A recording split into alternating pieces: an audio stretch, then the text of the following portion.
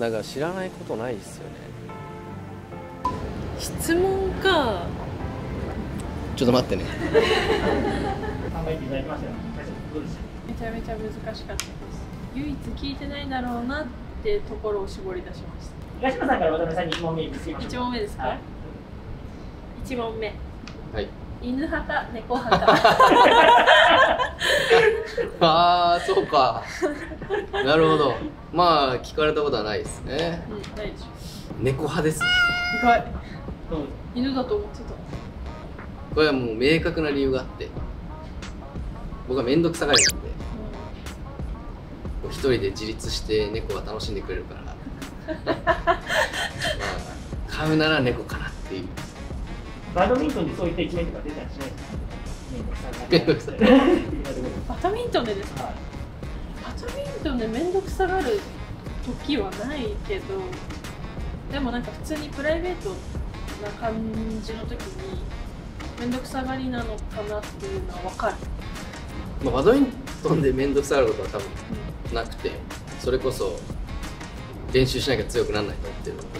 まあだからよく言えばバドミントン面倒面倒くさがらずに頑張ってるから他のとこは面倒くさがってもいいかなっていう。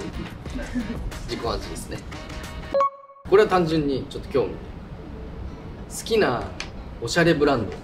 プライベートの何でも服でもアクセサリーでも。バドミントンの時ではない時のところの。最近友達と一緒に。あーあのきていろんなアクセサリー。アクセサリーもあるし服もあるしおーなるほど。インテリア系もあるしへえそこに行って服を見たりあアクセサリー見たり、まあ、お気に入り家の近くにあるっていうのが一番あまあ行きやすくて。そう。またちょっと高いブランドですね。高いけどあのきっと。いっぱい買わないよ。あたまーに行って買う。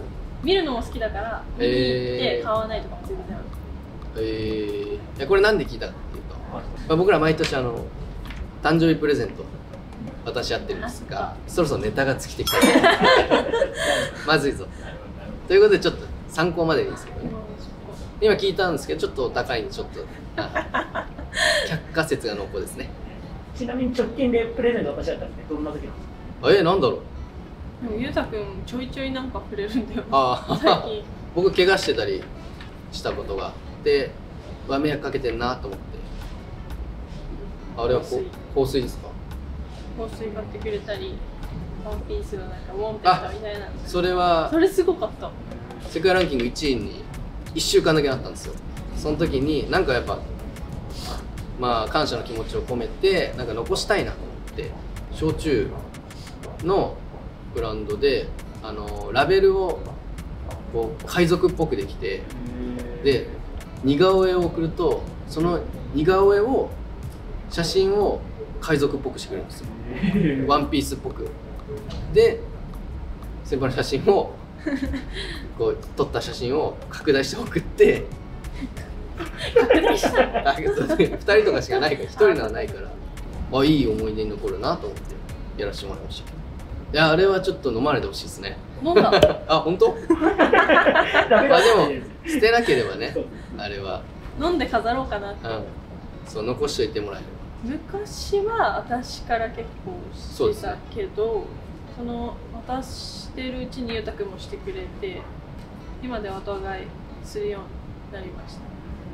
田辺さん一番もらって嬉しかったば全部嬉しいですよ。一番とか言ったらよくないですよね。そんな。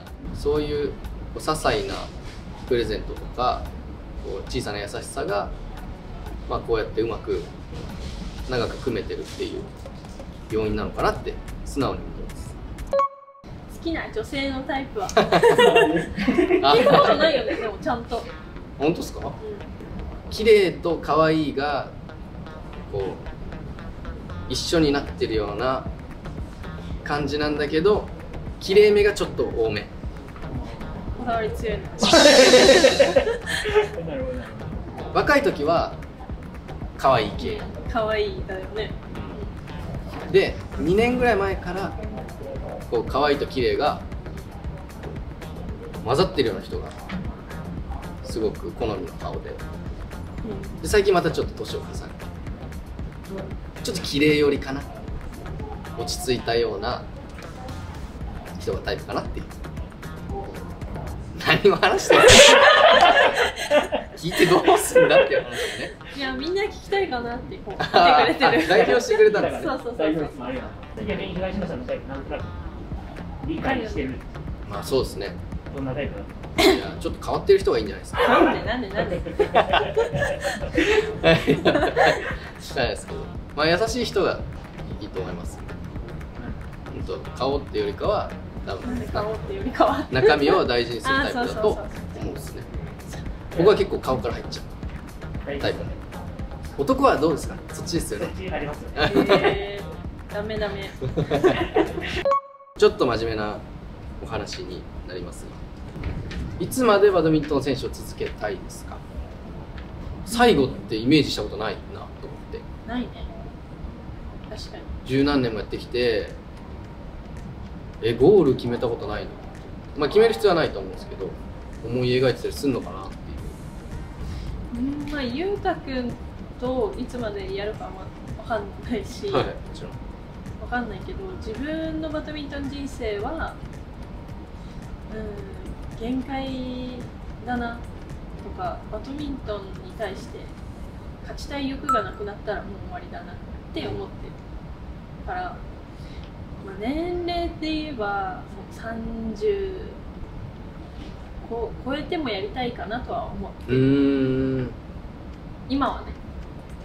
聞いたことなかった気持ちの分。も部分とか。その勝ちたい欲とかっていうのはね。まあ、どんな形でもね。ゆうたくんとあの組まなくなってもうん。もし自分がやりたかったらやるしやめたかったらやめるしその自分の気持ち次第で。まあでもこれ十何年ですか？1年？十十何年だろうね。組み始めて。そんな言ったんだ。10 11とか12とかだと思うんですけど。すごいね、なかなかゴールなんて話をすることはないので、まあちょっとぶつけてみた質問でした。いやー、本当僕らは一大会一大会をこう全力で挑戦するっていうのの積み重ねが多分ここまでなので、まあそれこそだからゴールっていう話をしてこなかったんだと思うし、まあここまで長く一緒に続けてこれてると思うので。まあ最終目標とかゴールとか、まあ、自分で言っといてあれですけどまあ決めなくていいんじゃないかなって一個一個のその一瞬一瞬を大事にして、まあ、続けていければそれがベストかなって思いますゆうたくんにとってミックスダブルスの好きなところいい意味でこう自分が支配できるところ。